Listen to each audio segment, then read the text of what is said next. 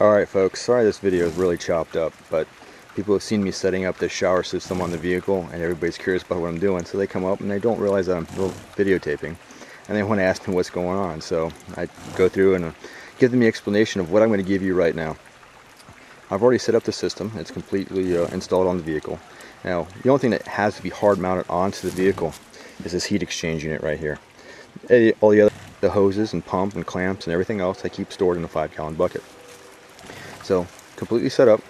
Start off with my water source. I just got a nice little freshwater creek going underneath this right here on this hill.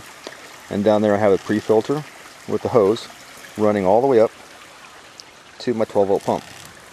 And the 12 volt pump is tied into my vehicle battery.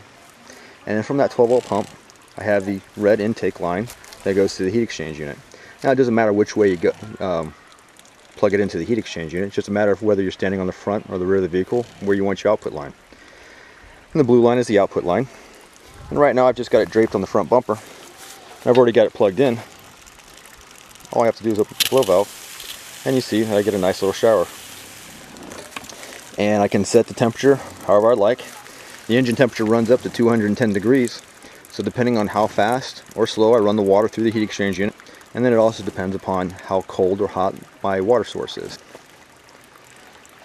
One of the things that I do to make things more comfortable when taking a shower is I have a bridging ladder that I carry in the trailer of my Jeep.